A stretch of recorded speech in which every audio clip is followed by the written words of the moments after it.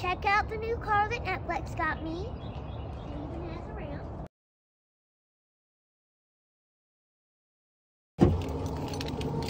It's not even warm, it's the car. It's not on.